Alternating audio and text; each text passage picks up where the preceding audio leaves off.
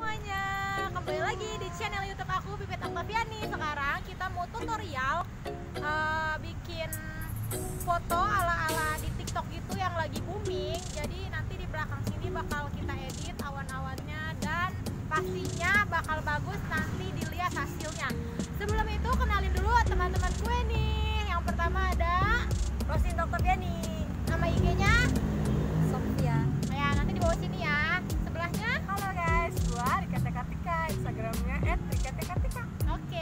sini juga. Ini siapa nih? Hai, nama gue Atik Widiasari Instagramnya? Jangan, jangan nih, jangan follow Instagram gue gue udah mau sold out Oke teman-teman, sebelum kalian lanjut ke video berikutnya, sekarang aku bakal nampakin dulu nih foto-foto sebelum aku edit gimana penampakannya, masih seperti ini senatural mungkin. Kebetulan aku menggunakan Oppo A3s, mana suaranya yang pakai Oppo A3s, uhui.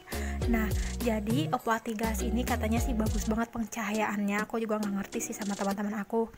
Dan kebetulan aku ini dibantu sama aplikasi kesayangan aku banget parah sih itu mah yaitu Lightroom pasti juga kalian tahu dan ini udah booming parah. Yang kedua aku aku pakai aplikasi Picnic aplikasi Picnic ini yaitu untuk penambahan cahaya awan jadi kalian bebas untuk pilih awan mana yang kalian suka. Nah oke okay, sebelum lanjut ke video berikutnya Jangan lupa subscribe, like, comment, and share ya videonya Biar aku makin semangat nih buat video tutorialnya. Terima kasih. Enjoy with video Oke, setelah aku perkenalin foto before-nya, sekarang kalian tinggal buka aplikasi yaitu Play Store atau Apple Store. Nah, kalian bisa cari searching yaitu Lightroom. Nah, ini penampakannya. Kalau kalian udah punya jangan di-download lagi dan kebetulan aku harus upgrade.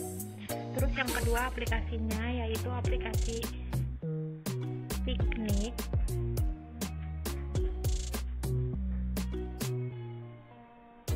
Nah ini dia yang paling atas.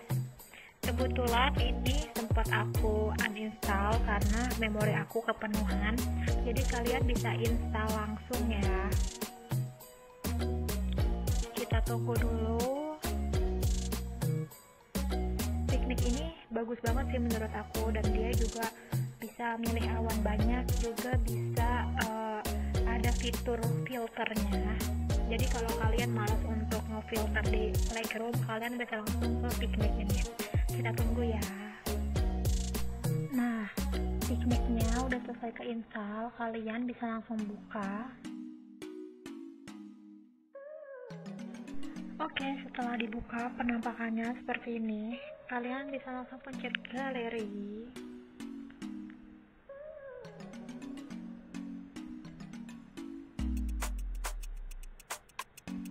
Nah, kalian bisa langsung pilih foto-foto mana yang mau kalian edit. Kita cari dulu ya. Nah, ini dia. Oke, sekarang kalian bisa pilih ke bawah.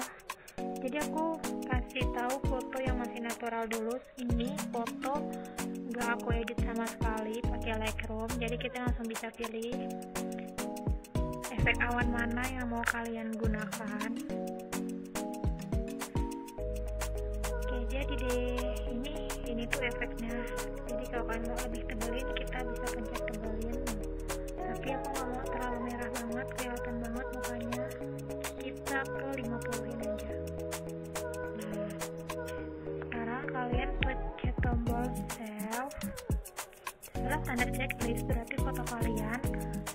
otomatis tersimpan di galeri handphone kalian. Oke, selesai. Oke, sekarang kita masuk ke aplikasi Lightroom. Di sini aku kebetulan sudah menambahkan foto-fotonya. Jadi kalau kalian yang belum tahu cara menggunakan aplikasi ini, kalian tinggal pencet icon di bawah sebelah kanan itu ada plusnya. Kalian pencet aja nanti kalian bisa pilih foto-foto mana yang kalian mau atau kalian ini gunain. Oke sekarang kita pencet foto ini misalnya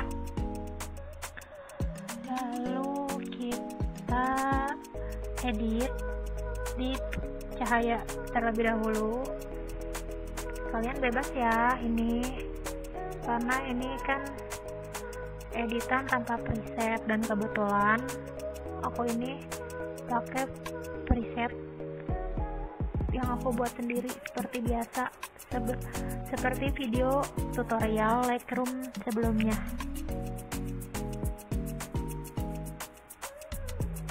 seperti ini. Pokoknya step by step aja ya. Kalian harus gunain ini step by step.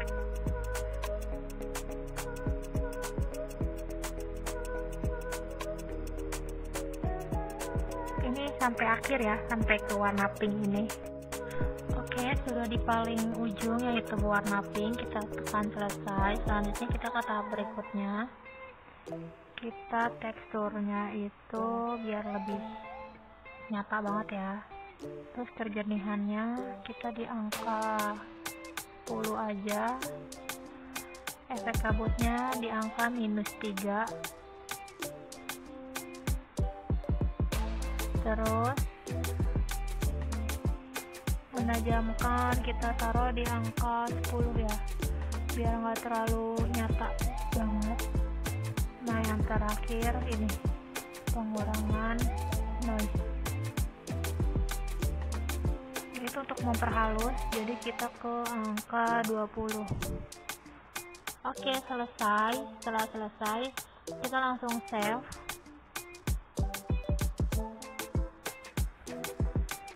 Kita tekan OK. Setelah itu kita kembali ke aplikasi piknik yang tadi nah sekarang kalian tekan kembali galeri. Setelah kalian tekan galeri kalian cari foto yang barusan kalian zoom nah seperti ini. Kalian tekan fotonya. Oke, sekarang bagian akhir yang bakal mempercantik foto kalian. Seperti tadi yang udah pernah aku gunain nih. Jadi kalian bisa nggak pakai filter karena kan kalian udah pakai filter di Lightroom. Kalian filternya bisa langsung ke angka nolin dan ini penampakan awannya ya. Kalian bisa bandingin before after lagi.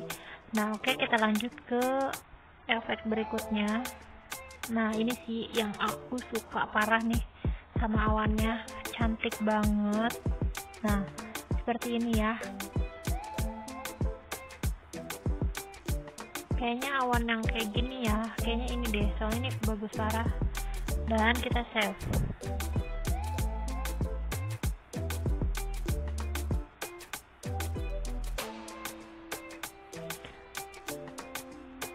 Oke, selesai sudah tutorialnya. Dan ini hasilnya